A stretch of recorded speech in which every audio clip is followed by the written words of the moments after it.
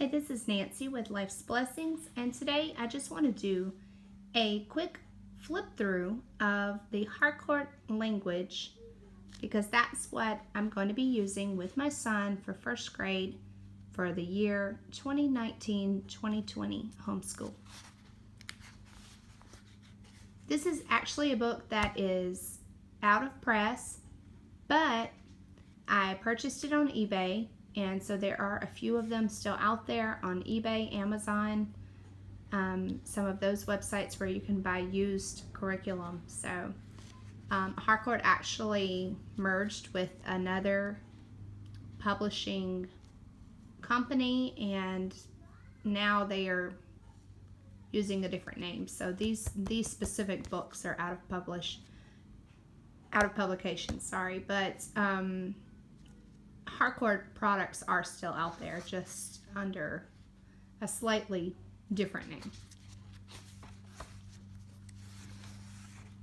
So here's the table of contents, and this is what is inside this book.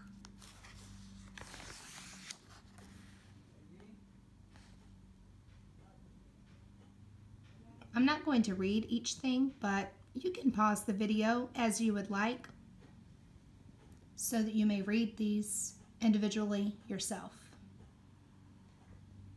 I'm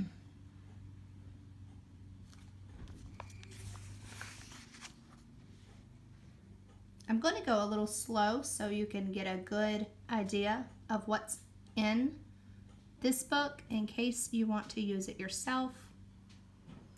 It looks like a great curriculum for where my son is with language arts. He is a typical boy that is more interested in math and science than reading and language arts. So um, this is not necessarily advanced, I wouldn't say. This is more on level because he is definitely not behind in any of the subjects, but he is highly advanced in math and science. Language arts, he is about where most of the kids going into first grade would be. However, he is a little younger than most of them. He is actually five years old and he will turn six in August, the end of August. These first few pages are just, um, we have a poem here, and then, let me flip it around so you can see. Draw your school and about your school.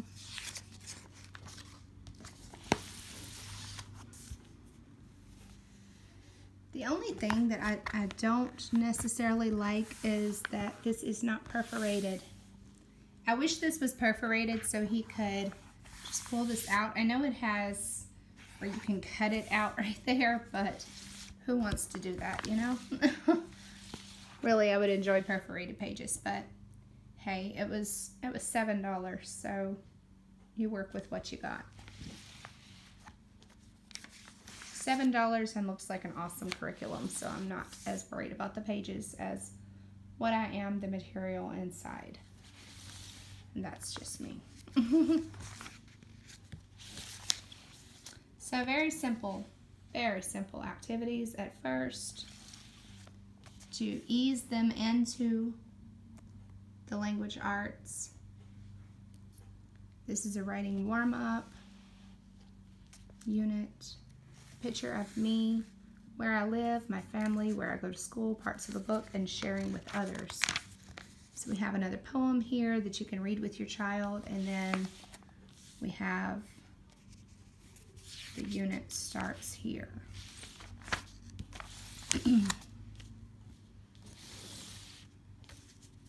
Again, still just getting to know the child, getting to know what he likes, what he doesn't like, where he lives, those kind of things. And I know that this is probably more intended for a school setting, but you know, it's still okay to do these activities in your homeschool because that helps your child to find who he is and what he likes. It's not about you necessarily getting to know your child. It is in a way, but you know, most of us could already guess what our kids are going to write on those pages if you spend any time at all with your children. And if you're homeschooling, then I know you do. You could pretty well guess what your kids are actually going to write on those pages, but maybe they're not sure what they would write. So, and this is helping them to learn what a sentence is. That's a little poem about um, the things that he likes to do and that will help prepare them to write their own sentences which is very important that's that's a great way to ease the kid into writing their own sentences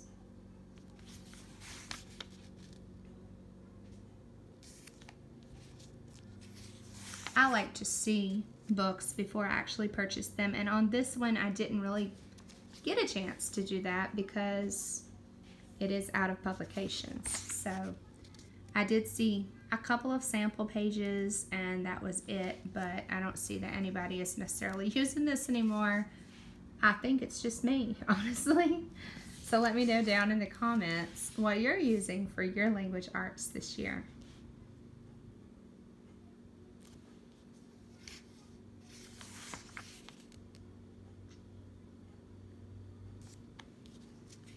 Oodles of noodles. Oh, that's that's teaching rhyming words. What a fun way to do that. The order of sentences, that's very important that the children learn how to correctly write a sentence in what order the nouns and the verbs and all that good stuff.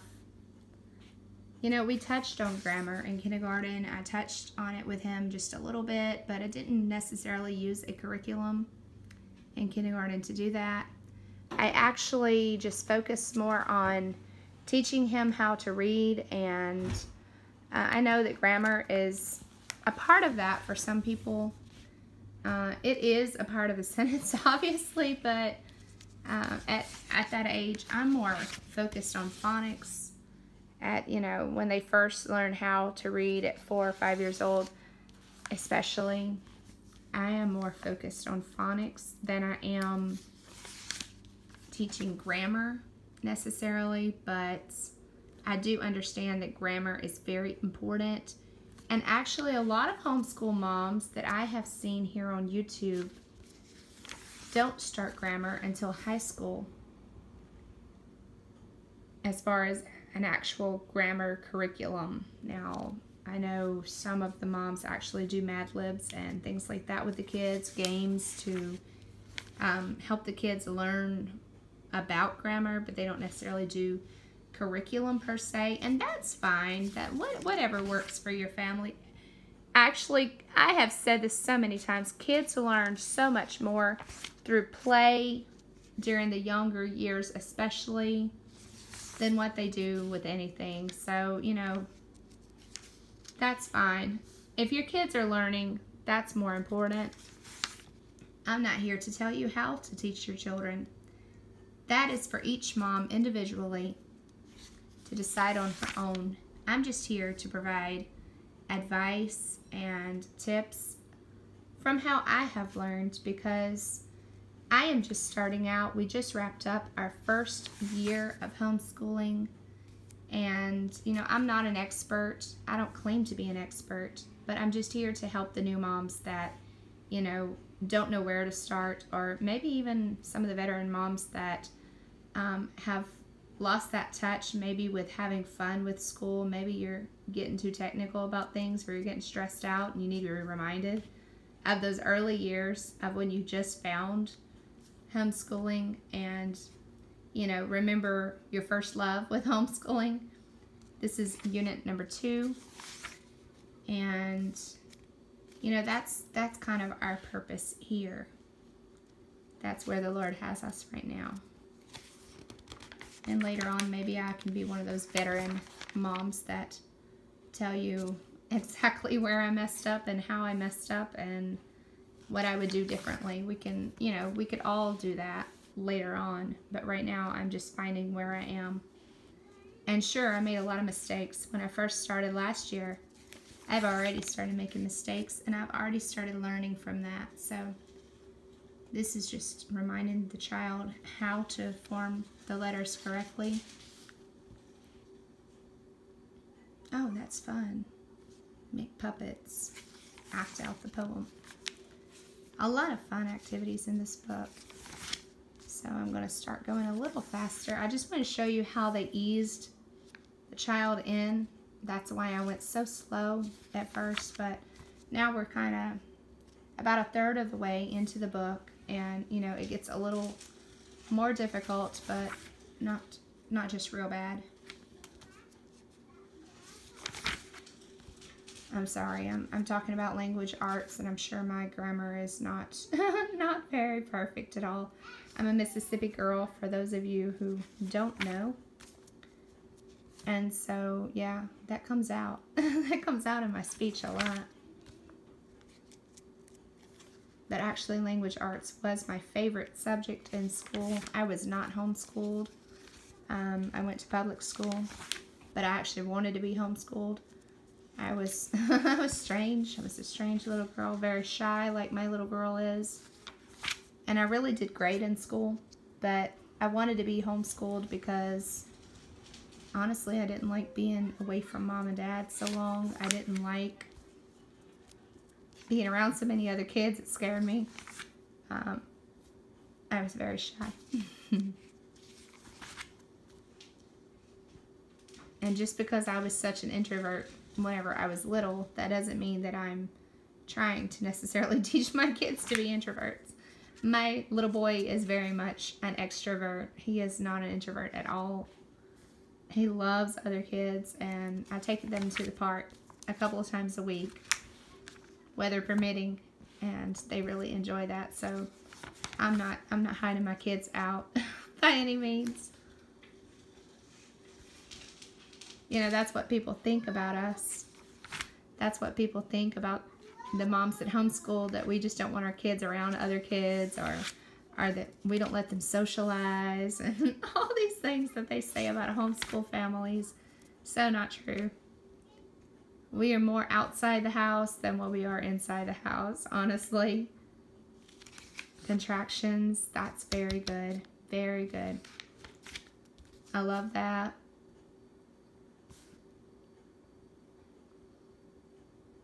A weather calendar sounds fun. Play porcupines. Oh my gosh. Oh, this is going to be fun. Yeah, I'm loving this book already. I'm just going through it with y'all. We just got it in the mail today. Just got it in the mail today. I should have done an unboxing, but anyway, next best thing. We just got it in the mail today. My little boy actually got it out of the mail. And he is he is excited. He looked through the book before I even did, and he told me he's ready to get started on it. So that's how the book advances. That's how the material advances. Unit number four, grammar and describing words and writing description. Let's see how they're going to do that. Add a describing word to each sentence. Oh, that's good. Mm -hmm. So we're adding in adjectives and they just don't even know it. Synonyms.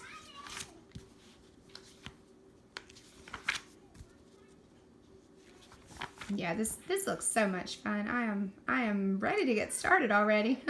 and we don't even start back to school for another four weeks, so ah, patience, mama. that is one of the fruit of the spirit, right? Patience. Ah, something I struggle with. Pronouns. Pronouns there. Um, writing a letter, yeah. You know, I was thinking about that just the other day. I was wondering when are we going to get to write letters? Because I think that would be so much fun for them to write a letter to their mama and you know she would enjoy getting that in the mail and they would enjoy doing that mm. writing dates you know that's something funny my son, after I taught him to use a calendar, that's all he does now. He wakes up every single morning and he tells me what day it is and he knows everybody's birthday and my little girl does too and she's only four. And I remember back in May when my husband had his birthday, they counted down. They started in April, guys. I'm not kidding. They started in April and they counted down the days as if it was their own birthday. They were so excited. And you know, that's just proof that what I'm doing with my kids is working because there are so many kids that are older than them, seven, eight years old, that are going to public school where I live, and we have asked them what their birthday is, or, um, you know, shut the door, baby. Um, kids are playing on the porch. what their birthday is or uh, even what month it is. And they're like, I don't know. Let me go ask my mom. and my kids are standing there. Well, my birthday is April the 15th. My birthday is August the 29th. And my mom's birthday is this. And my dad's birthday is this. and my Aunt Janet and everybody. they start telling when everybody's birthday is. So this is uh, revising. That, that's good give them something that's incorrect and then get them to correct it. See how that's done. Very important. Teaching them to recognize the return address, mailing address, and how to put that on the envelope. Yeah, so this, this really looks like a great curriculum. Looks very nice. Exactly where he's at. I, I was concerned of whether or not I got the right grade level for him because you know every curriculum is different and um, they all do things so differently. There are some that are more advanced. There are some that to me look slightly um, under level and then there are some that are just right there, you know. And this is just right on level. This is just right on level, perfect for him. You know, that's funny. That's funny how um, children can be so different. I can see with my children already. Children are so different about which subjects interest them the most and um, which ones they take to and which ones they don't, which ones they are just, you know, doing because you told them to do or they, they know that they have to. Oh, this will be fun. This is fun. You know, my kids have a Hispanic heritage, so this is this is fun. The empty pinata. My husband is from Guatemala, so they know all about some pinatas. Every party that we have, pinata.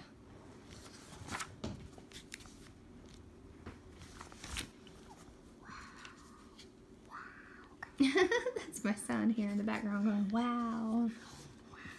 He's looking at the book with us. Do you like this book, Joel? Yes? So you think it's going to be something that you enjoy? He's shaking his head. Yes, you can't see him, but he is. Proofreading. So just revision again. Publishing. Capitalization. Yeah, all in all, this looks like a wonderful curriculum, and that's that's about the best flip flip bleh, excuse me, best flip through that I think you're going to get on this book. We went through that very slowly, and you can fast forward if you want to. Um, should have said that in the beginning of the video, but anyway, it is what it is. Harcourt Language Arts, and this is grade one. Yeah, grade one. Doesn't have it written in there, but it's grade one. And like I said, I I bid it on it on eBay and got it for seven bucks with shipping and all. So I think that's a great price for a language arts curriculum. We were looking everywhere and the cheapest price other than this that I saw was about $22. So yeah, I got an excellent deal with excellent material and I hope this has helped someone. Um, this was not requested, but I just wanted to do it because I got so excited that it came in the mail today. This is the first first book that has come in the mail, and I just got so excited. So I wanted to share it with everyone. Thank you for watching. God bless. Have a great day. And if you haven't subscribed yet, then subscribe to our channel and please give us a thumbs up so we'll know that you enjoy the material that we're sending out. And thank you so much to all of our new subscribers. We went from just like eight subscribers to 12 to 20. So thank you so much. Thank you so much for your love and support. May God bless each and every one of you. And I hope you continue to enjoy the material that we're sending out. Happy homeschooling. Bye bye.